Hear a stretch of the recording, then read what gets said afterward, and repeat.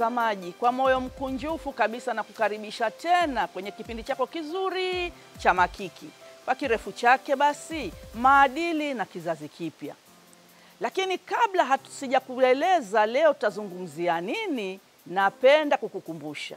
Wewe bloga, wewe mtoa maudhui mitandaoni, kwenye online TV, online radio, ujisajili na Mamlaka ya Mawasiliano Tanzania. Iwapo tu kama hujafanya hivyo, jisajili uweze kutoa habari za uhakika, habari zilizothibitishwa, habari zinazoaminika.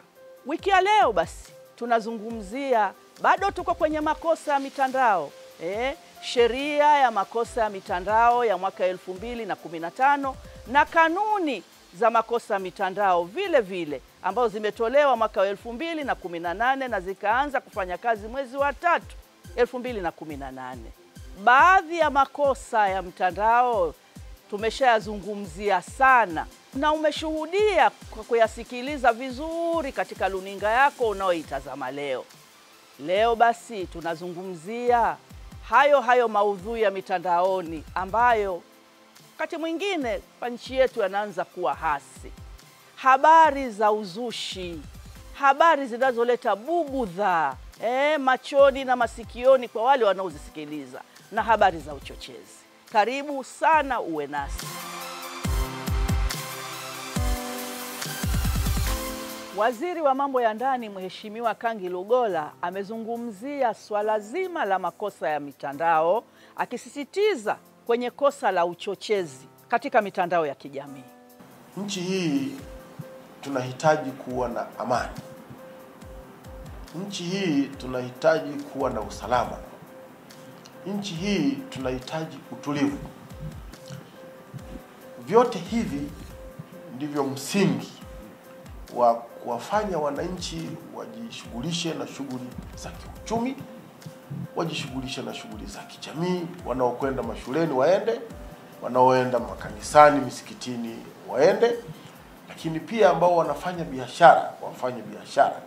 Kwa hiyo mimi kama waziri wa mambo ya ndani ya nchi ambaye nina vyombo vya ulinzi na usalama navyovisimamia, tunapokuwa tunalenga kuhakikisha kwamba e, nchi inakuwa na amani, usalama na utulivu, wako Watanzania wenzetu baada ya nchi sasa na dunia hii imekuwa ni ya sayansi, teknolojia ime, ime, imekuwa ya hali ya juu sana. Uh, tuna matumizi ya kompyuta uh, tuna matumizi ya simu uh, tuna matumizi ya vifaa mbalimbali ambavyo ni vya kimtandao. Tunaamini kwamba nchi ili iweze kusonga mbele na nchi hii ambayo tunataka sasa kufikia uchumi wa kati, ambayo ndiyo azma ya Mheshimiwa Rais, namna gani mitandao hii inavyoweza kutumika katika kuleta uh, mafanikio kwenye uchumi huu wa kati. Serikali inatumia mitandao katika mawasiliano uh, wizara na wizara, nchi na nchi, lakini pia wananchi wanatumia mitandao katika kufanya biashara, katika kuendesha uchumi. Vyote hivyo vinahitaji usalama. Tuna mitandao inaitwa mitandao ya kijamii.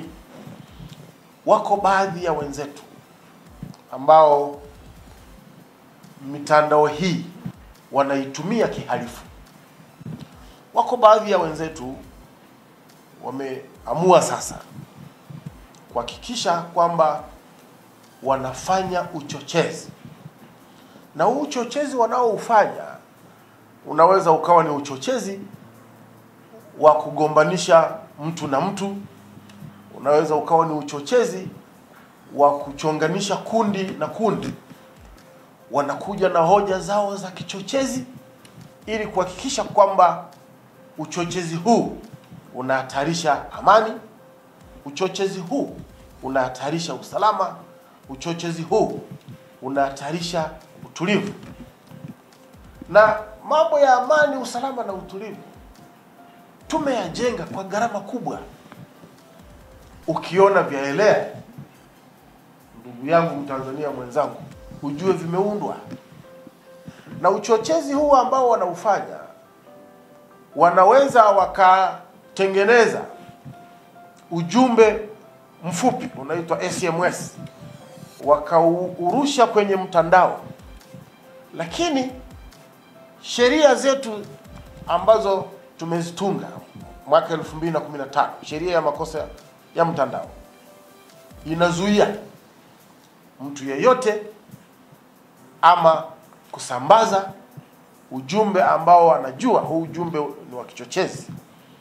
Ama kutengeneza ule ujumbe, iwe ni kwenye Twitter, Facebook, Instagram, kwenye WhatsApp, kwenye magrupu haya ya kijamii, ni vitu visivyoruhusiwa.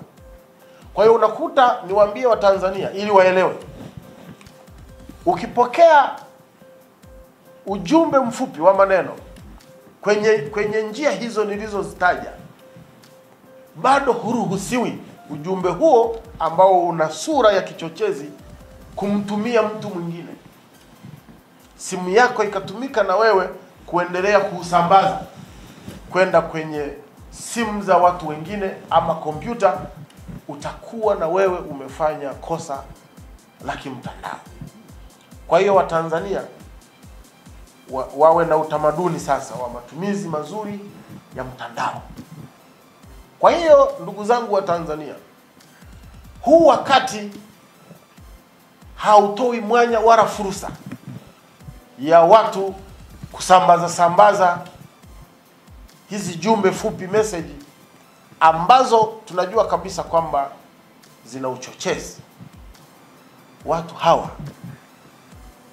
nitashughulika nao, na ninataka niwaambie Watanzania juu ya jambo hili, sina mchezo, sina utani, sitazami mtu usoni. Mimi kwa watu wa aina hiyo, mimi ni kanyaga twende.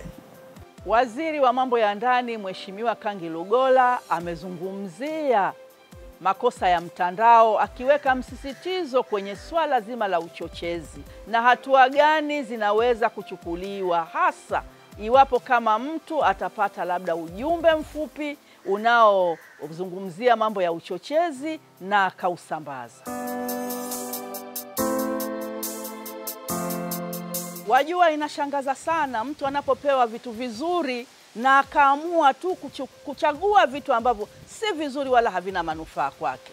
Habari za kizushi, habari za uchochezi. Hivi kweli katika faida zote zinazopatikana kwenye mitandao, ndio baadhi ya vijana wetu Tanzania mnaamua kukumbatia hayo? Hivi kweli elimu yote mnaweza mkapata, bahari nzima ya elimu mkaweza kupata fursa, bahari nzima ya fursa. Vijana wa nchi nyingine wanakumbatia fursa hizo. Tusizungumzie nchi za magharibi, utashangaa vijana ambavyo wamekumbatia mitandao. Sasa leo eh, kweli vijana wa Tanzania tunashindwa hata na vijana wenzetu, pengine majirani zetu ambao wanakumbatia fursa, wanafanya biashara kubwa, wanapata elimu ya kutosha, tunakumbatia uzushi. Ina maana kweli tunataka si tuitwe taifa la wambea eh? Wambea yani umbea ndio unatawala. Kijana umesoma eh? Umepata elimu, badala ya kuitumia vizuri, leo unaeleza habari za kizushi ama eti michambo. Ehe, sogea huku, kuna mchambo kweli. Lakini kama nilivyosema, si wote, ni baadhi ambao wanakumbatia hayo yasiyokuwa na maana e, hawaoni haya wala hawajui vibaya. Wako vijana ambao wanakataa, wanasema hapana, mtandao e, ama mitandao ya kijamii ina mambo mazuri mengi, na wanasema vijana wenzetu, achaneni na hayo. Hebu tuwasikilize jamii wanasemaje, na jamii yenyewe ni vijana, na vijana wenyewe ndio hao ambao wanatumia mitandao ya kijamii. Hii mitandao ya kijamii ina faida kubwa sana kwetu vijana. Nikitolea mfano mdogo tu, kama mimi kijana, kuna shughuli naifanya, naweza nikatumia mitandao ya kijamii kwa ajili ya kupromoti shughuli yangu. Kuna faida nyingi ukizitumia, lakini in a positive way. Mtu anaweza akatumia mitandao ya kijamii kupata kazi, kujua tamaduni za watu. lakini vile vile kumekuwa kuna wimbi kubwa sana la uhalifu Na ukichana na uhalifu, kuna baadhi ya watu wanatumia mitandao kwa vibaya. Mfano, baadhi ya, ya watu ambao wanatumia mitandao ya kijamii kuposti picha ambazo hazina maadili. Kuna wengine wanakuta wanatumia mitandao ya kijamii, wanazusha taarifa zisizo za kweli, zinaleta uchochezi. na uchochezi huo unapelekea jamii kugombana, kutofautiana. Na uchochezi upo aina nyingi ambao upo kwenye mitandao ya kijamii. Tumeendelea kusikia habari za uchochezi wa kidini, tumeendelea kusikia habari za uchochezi wa kisiasa, ambavyo vitu si vizuri sana kwa jamii yetu, kwa sababu nchi yetu imekuwa iki tukiishi kwa amani. Kwa hiyo tukifika mahali kutumia mitandao katika uchochezi, na tujue kabisa kwamba hiyo mitandao ya kijamii inawafikia watu wengi sana. Inaweza kakuta mtu amezushiwa amekufa, lakini in real sense hajafariki. Kwa hiyo taarifa zinavyokuwa published ambazo si za kweli, hazijahakikiwa, kidogo inaleta eh, taharuki katika jamii. Kwa hiyo ningewashauri Watanzania wenzangu na vijana kama mimi tutumie mitandao ya kijamii in a positive way. Tuitumie namna ambavyo inaweza ikatuletea manufaa. Mmewasikia vijana, vijana wanasema uzushi na uchochezi sio dili. Tanzania ni nchi ya amani, na ndio maana tunafanya shughuli zetu kwa amani. Nchi nyingine ambazo hazina amani, e jama, e, e jama, msiombe, msiombee, tusichezee amani yetu. Baada ya kuachana na hawa vijana e, kwenye kipengele chetu cha jamii, nasemaje, tumekwenda tena jikoni jikoni kule kwenye jungu kuu, mamlaka ya mawasiliano Tanzania, ambao ndio wanadhamana haswa na haya habari zote hizi za maudhui ya mtandaoni. Tumeweza kuzungumza na afisa mwandamizi wa mamlaka ya mawasiliano Tanzania, Bwana Rolf Kibaja. Labda ningependa kuelezea tu uh, Mamlaka ya Mawasiliano Tanzania ikitoa leseni kwa watu ambao wanashughulika na watoa huduma za maudhui, huwa leseni hizo zinaambatana na masharti pamoja na kufuata kanuni, kwamba kila mtoa huduma ya maudhui katika mitandao anatakiwa kufuata uh, kanuni na sheria ambazo zimewekwa. Na mamlaka ya mawasiliano ili kuhakikisha uh, hivi vituo au ili kuhakikisha watoa huduma wa mtandaoni uh, wanaepuka masuala ya uchochezi pamoja na uzushi, huwa mara kwa mara inatoa mwongozo kupitia kwenye kanuni.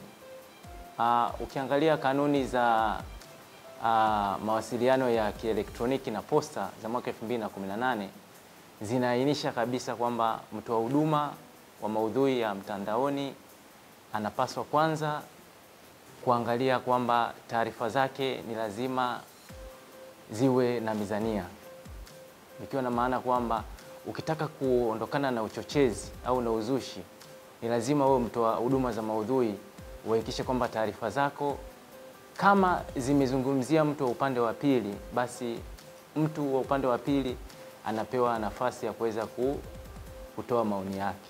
Hiyo ni mizania, na kwa mtoa huduma ya maudhui akizingatia suala hilo la kutoa fursa kwa upande wa pili kutoa maoni, moja kwa moja ataepuka swala zima la taarifa za uzushi na uchochezi. Kitu kingine uh, ni swala zima la kuzingatia taarifa ambazo zina ukweli na ukweli nikiwa na maana kwamba uh, mtoa huduma ikiwa ni kwenye mitandao ya kijamii, ikiwa ni kwenye uh, ni bloggers, ikiwa ni watu wenye uh, uh, YouTube channel, ni lazima wahakikishe kwamba taarifa wanazozitoa zina uhakika na zimetoka katika vyanzo ambavyo vina uhakika.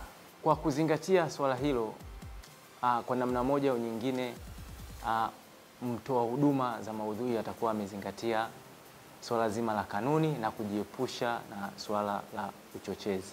Kitu kingine ambacho kinapaswa kuzingatiwa ni swala zima la kuhakikisha kwamba watoa huduma hawaweki taarifa za chuki.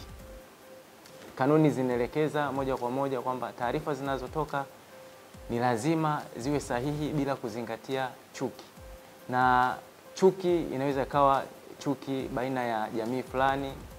E, unaweza ukawa una, una, una, una, una posti taarifa lakini ukiwa na lengo zuri, lakini hukutazama jamii ambayo una i target au na, una, unataka kuifikia, na kwa namna moja au nyingine unaweza ukapandikiza chuki bila kuzingatia kanuni.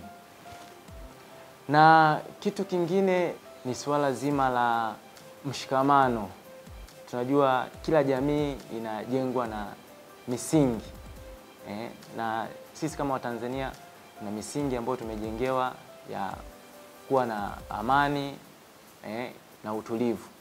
Sasa ikiwa kama ni wewe ni mtoa huduma za maudhui mtandaoni, alafu unaripoti taarifa let's say labda kuna majanga au unaripoti taarifa labda kuna vurugu, na taarifa zako hazilengi kuzuia hilo swala lisitokee, lakini zinalenga kuhamasisha au kuchochea hizo vurugu kuendelea, hiyo kwa kweli haikubaliki.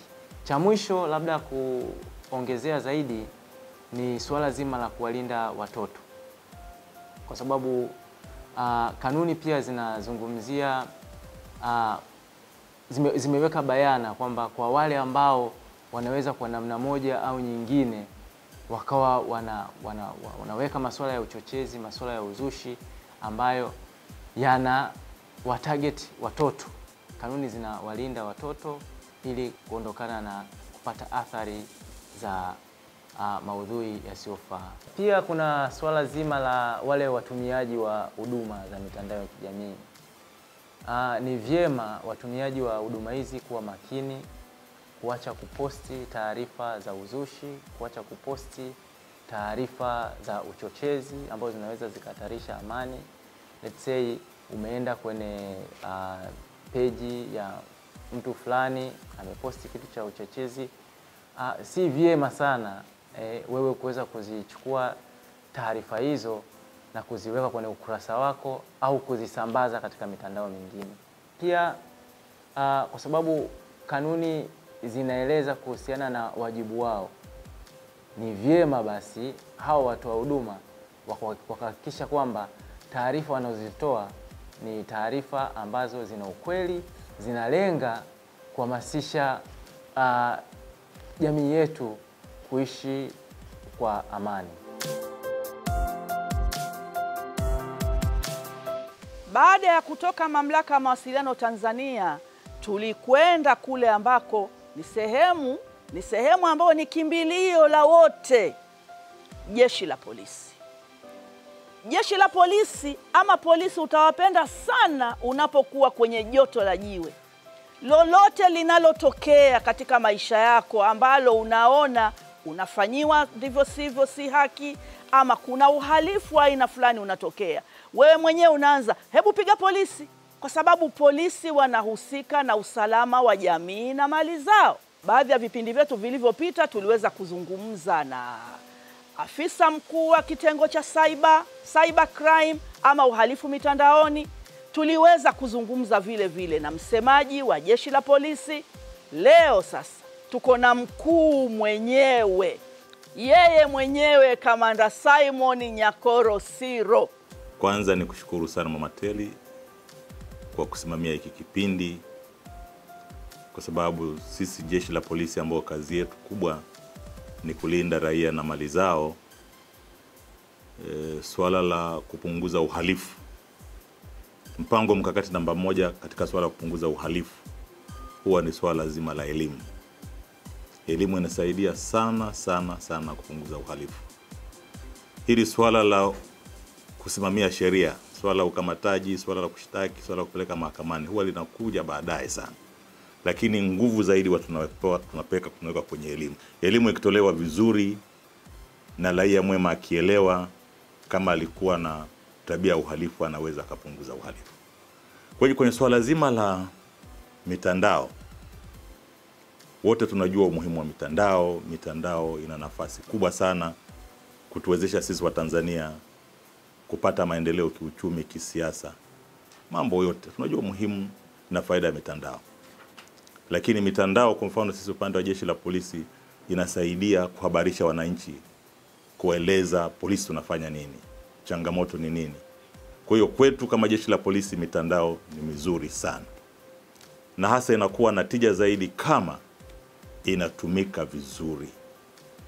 Tatizo linakuja mitandao inavyotumika vibaya vibaya, kwa maana kwamba badala ya kutumika vizuri, sasa mitandao inakwenda kwa upande wa uhalifu, na maanake ukishakuwa mhalifu ni lazima utapambana na jeshi la polisi. Ndio maana siku zote huwa nazungumzia swala la utii wa sheria bila shuruti.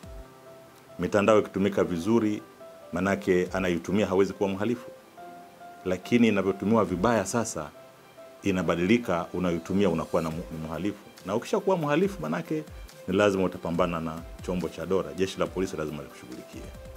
Nasema hivyo kwa sababu utakuta kuna makosa mbalimbali inayotumiwa na mitandao.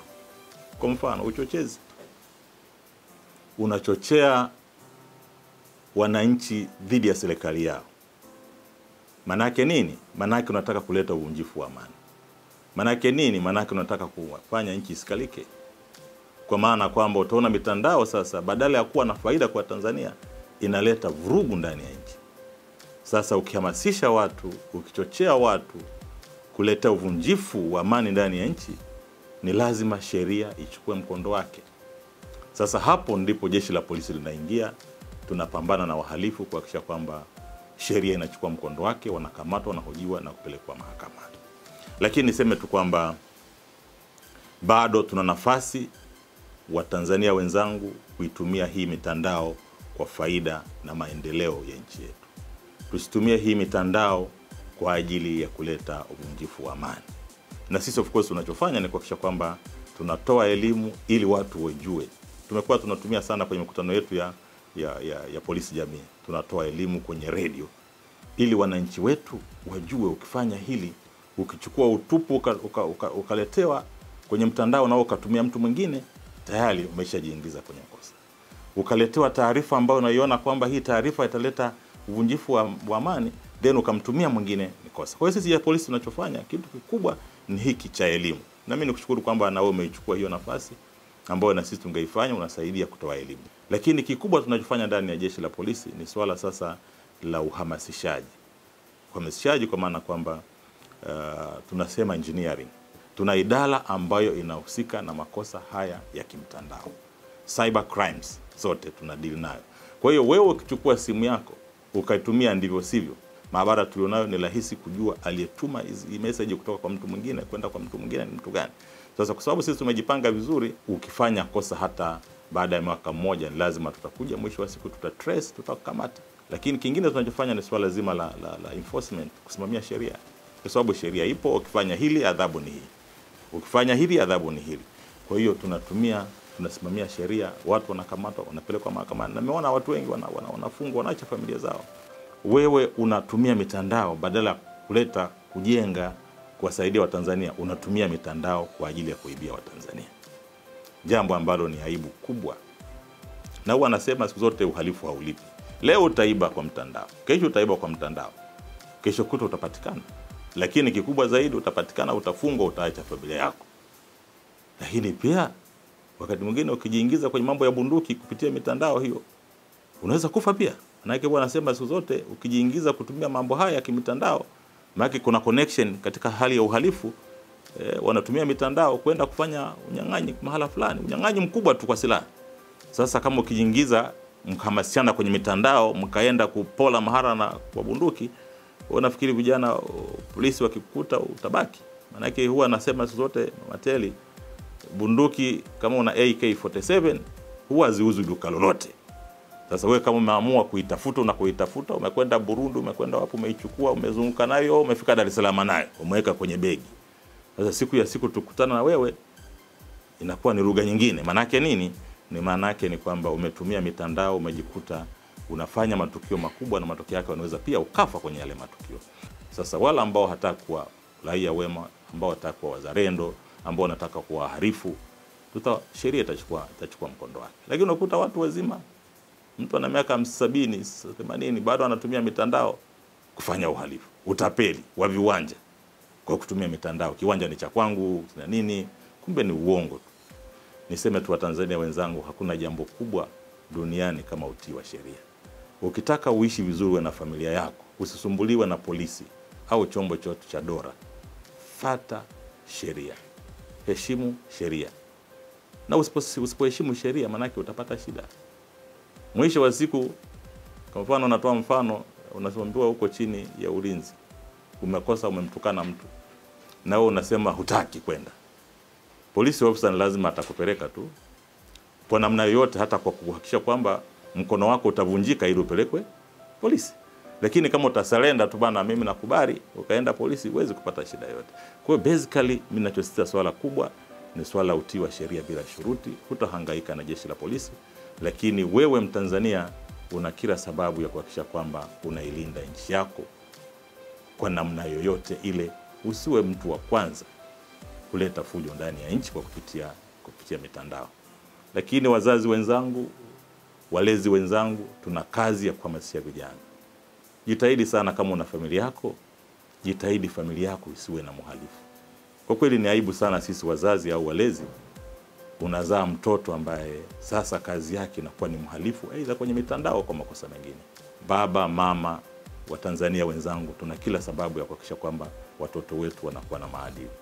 Haya mambo ya kuigaiga, mwisho wa siku yatawaharibia maisha, na mwisho wa siku familia zitabaki zinapiga kelele. Kumbe wazazi, walezi, hatukuchukua nafasi ya kuwakanya watoto wetu. Lakini pia na watoto, nyinyi ndio taifa la kesho, tunategemea nyinyi ndio mtaendesha hii nchi, lakini huwezi kuendesha nchi kwa vurugu, kwa kutumia mitandao hii. Itumie mitandao kwa faida yako, manake leo wewe ni kijana, kesho utakuwa ni baba, kesho utakuwa mama. Sasa ukianza kujenga mazingira ya kutumia mitandao kuleta uvunjifu wa amani, mwisho wa siku utafia gerezani. Asanteni sana. Tumemsikia kamanda, mengi aliyotueleza, mengi tumeelewa, na naamini mpenzi mtazamaji, na wewe vile vile umeelewa mengi, na amekwenda mbali zaidi. Zaidi ya huu utii bila shuruti, kawaasa hata wazazi, hata walezi na vijana vile vile. Na mimi kwa kumalizia, basi napenda kuwaasa vijana, utii bila shuruti ni jambo kubwa sana katika maisha ya mwanadamu. Yaani hiyo inakumbatia yote katika maisha, kwa sababu hata unapoamka asubuhi ukaenda kwenye shughuli zako ni unatii bila shuruti, hakuna anayekulazimisha, unaenda kuwajibika. Utii bila shuruti unakufanya wewe mzazi kwa wajibu wako tu kuweza kufahamu kwamba na watoto nimewazaa, ni walee waweze kuwa wacha Mungu, waweze kuwa raia bora, waweze kutii sheria za nchi. Uhalifu unaweza ukawa ni njia ya mkato katika maisha, lakini hizi njia za mikato mikato ndio njia ambazo zinaleta maafa na madhara. Fuata njia ndefu ambayo ni njia inayoweza ikakufikisha kwenye hatima yako ya maisha yako, maisha mazuri, maisha ya kuchapa kazi, maisha ya kujitegemea. Kila kitu duniani kina sheria. Hata usipovuta pumzi, pumzi yenyewe hujui kama unavuta, lakini ni sheria. Uweze kuishi katika dunia hii, shurti uvute pumzi. Kwa hiyo kila kitu kina sheria, na unapotii sheria tu ndio hapo unaweza ukafanikiwa. Sasa hata hii mitandao yetu ya kijamii kuna sheria zake, tunapashana habari, tunafanya hili na lile, lakini kwa kufuata sheria za nchi, sheria tulizojiwekea kwa manufaa yetu sisi wenyewe. Kubwa zaidi ni kazi. Ufungue mdomo asubuhi mpaka jioni, hakuna kitakachoingia mdomoni chakula, labda ataingia inzi. Maana ilianguka enzi hizo za Waisraeli, haianguki tena. Fanya kazi baba, fanya kazi mama. Wewe kijana, wewe ndio unaosukuma gurudumu la leo. Fanya kazi kwa bidii. Laborare estorare. Mpaka wiki ijayo, ni mimi wako Mama Terry.